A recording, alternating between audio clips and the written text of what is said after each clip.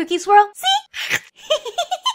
Hi, Cookie fans. I'm sparking with excitement because there's Brand Boo students arriving. Here, let's take a look. That's right, Cookie fans. Frankie is right. We've got Brand Boo students that have been added to woo, the Monster High line, and I am in love with these three ghouls. I think they're super duper cool. So let's swing on in for a closer look. All right, let's rock and troll and start meeting some of these Brand Boo students.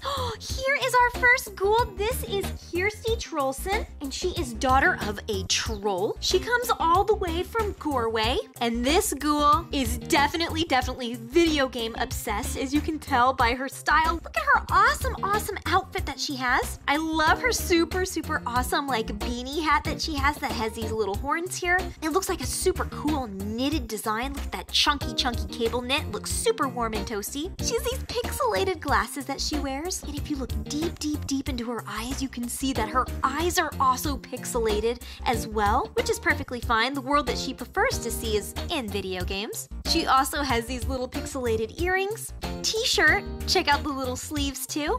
The skirt has two levels. We've got the super pixelated little bottom layer, and then we have this really cool, like magenta, shimmery metallic with a little bit of some mesh at the bottom. She knows how to play it cool with this super awesome black bangle. And look at her snuggly, snuggly shoes as well. She's got these, these really thick little socks and these pixelated little wedge boots as well. Look at how she does her laces. Oh yeah, thinking outside of the digital box. She also comes with this little diary, which I read and it's so super duper cute. Turns out that Ghoulia actually beat her high score.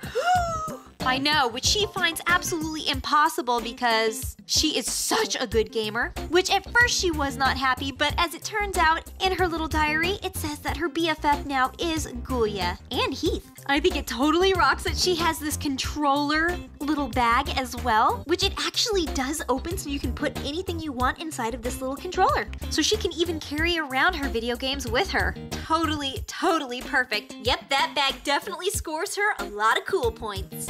Let's have the next ghoul fly in with her fabulousness. Oh, here she is. This is Batsy Claro, and she is daughter of the white vampire bat. She comes all the way from her home, Costa Rica, where she is a tour guide in the jungle and introducing new monsters to the beauty, beauty, beauty of the jungle. Okay, look at her hair. I love this mixture of like her white, it, her hair is like this white, white, white platinum blonde mixed in with this super bright green.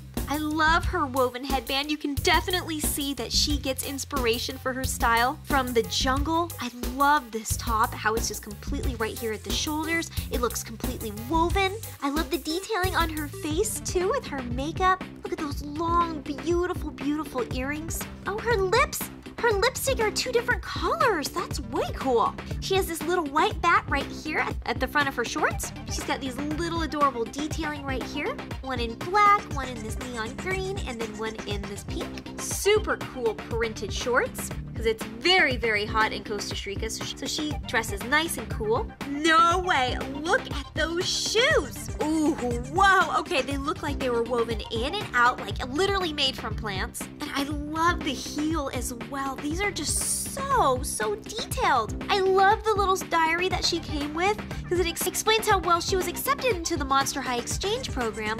But mostly, she found out that someone at Monster High had stolen the rare ghost orchid while they were taking a tour from her. So she has actually come to Monster High to get this very rare endangered flower back. So she is on a mission. She has supersonic hearing, so I'm sure as she's roaming the halls of Monster High, she will have no problem hearing at least somebody talk about this rare, rare ghost flower. She can carry some of her belongings in this super big, beautiful purse that matches her outfit and also is woven and it has the same beautiful design as her earrings. And I love, love her wings. Also, look at the detail in those as well. She's just fabulous in every way.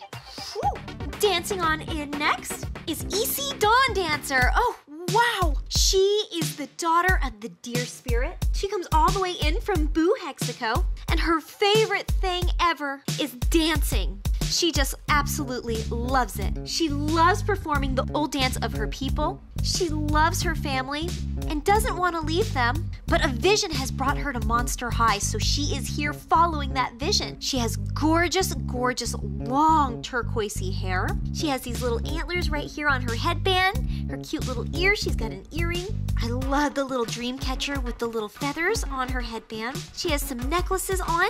Look at her outfit. These really beautiful, beautiful, like tribal print. And look at her little fringe shoes with three layers of super fun fringe. I bet that looks beautiful when she's dancing. And her shoes even have little tiny dream catchers on them as well. And it's super cool because she is daughter of the deer spirit. She actually has like deer feet. I love her little triangle bangles that she has on too, on both of her hands. She can get carried away with the most gorgeous bag. It's big jumbo dream catcher that's printed on both sides. And of course, she comes with her diary as well. I think these are some of my favorite dolls from Monster High. I'm really, really crazy, crazy about them. Their colors, their style, their detailing are absolutely beautiful. And same thing with their stories. I hope you cookies dance on over to my next video. I will see you there. Bye, Cookie